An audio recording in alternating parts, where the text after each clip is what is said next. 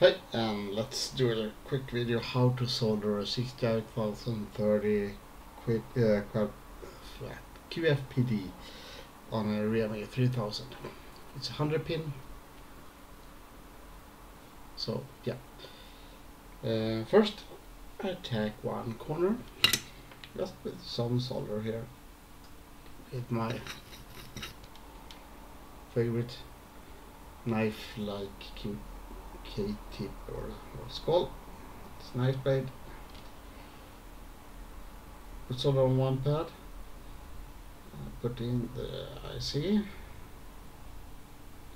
and try to line it in all corners.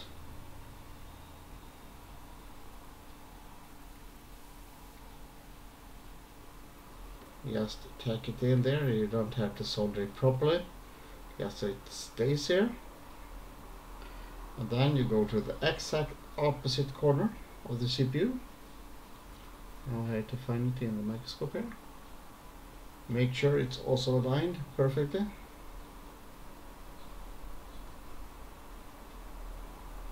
And put it there.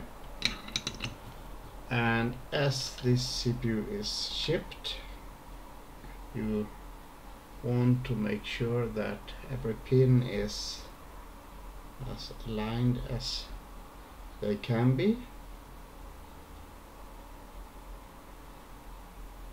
And I actually usually also tick on each corner of the CPU slightly. So it stays there and here you might see that pin is somewhat misaligned. Try to poke it so it's kind of aligned. This is so much easier with, with the microscope than without. I would not even recommend to do this without microscope Here you can see that the pin is slightly bent.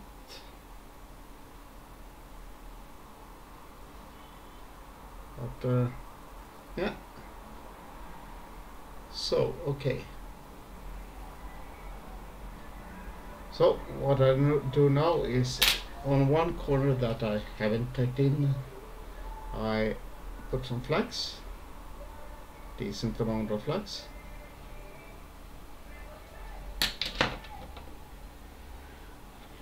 And then clean my tip. Good as I can. Put here and just right and make sure that you hit both pads and pins.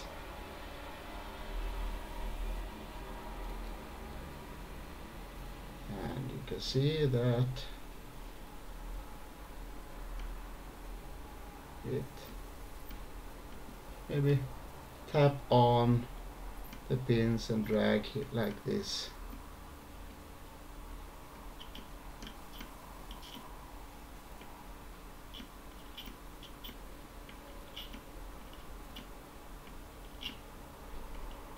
Can see how the solder flows. Like that. Okay now that's side down. Now you take the opposite one, you flip, turn the board and find the CPU again. Here it is. So this is on the opposite side of your solder and flux again. Flux is good. It does. We and then some solder and put it here.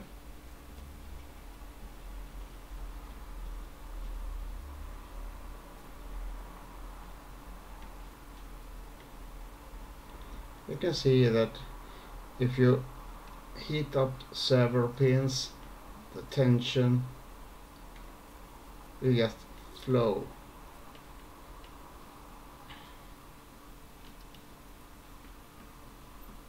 physics does the soldering for you. And you don't need especially much solder for this one as well. Maybe somewhat more because so.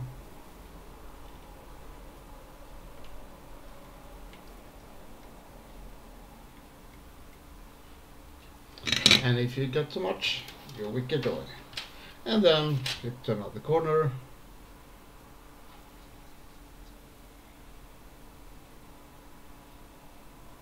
Flux. Always flux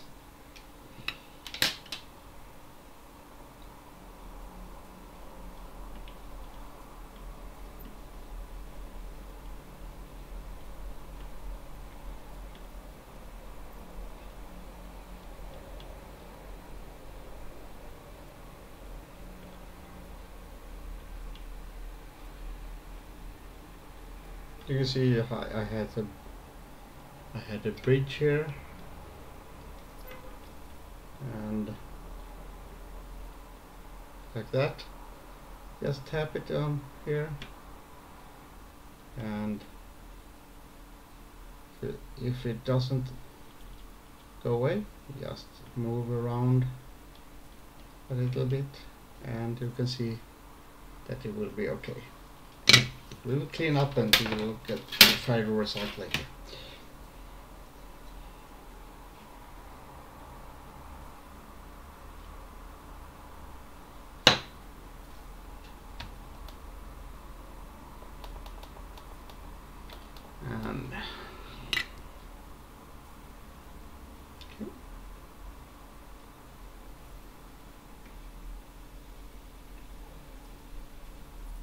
See the physics does the work for you.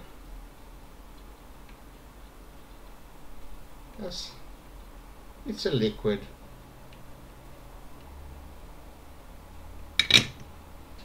Not that. It's done. Pour some isopropanol on it and I use a toothbrush this doesn't really clean the board. Remember that you're actually just smearing around it on the board. So if you want to do real cleaning, you need to do ultrasonic and or uh, something that sucks it up.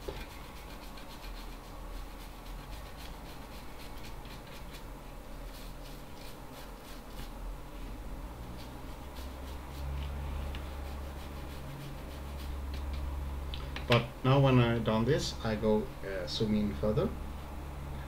See how much I can zoom without it getting dark on camera. And Blackboard was not the optimal board for this type of recording, but anyway, uh, you can't really see the pads due to the light. They are maybe somewhat misaligned, but uh, I can feel with my tweezers here that, uh, yeah, no problem. And what I usually do is I take my tweezers and drag them around the pins like this. And you will feel if one pin is not aligned. Here I'm not sure if it's okay it is. This is one of the bent pins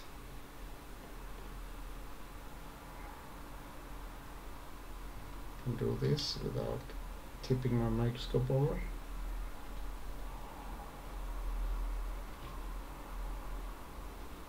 Like that.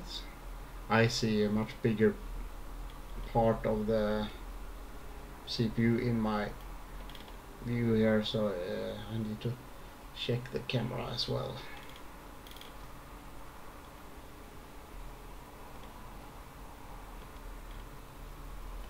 Like that. I flip the board because you can see it's much better uh, like that and drag like this and check if something moves. you also hear a distinct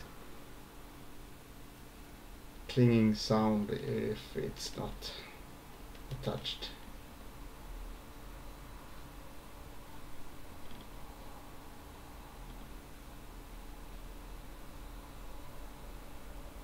and I can say that without the microscope this job be much harder. Anyway, uh, that's uh, 030 installed on the board. Didn't take many minutes. Um, that is how you do it.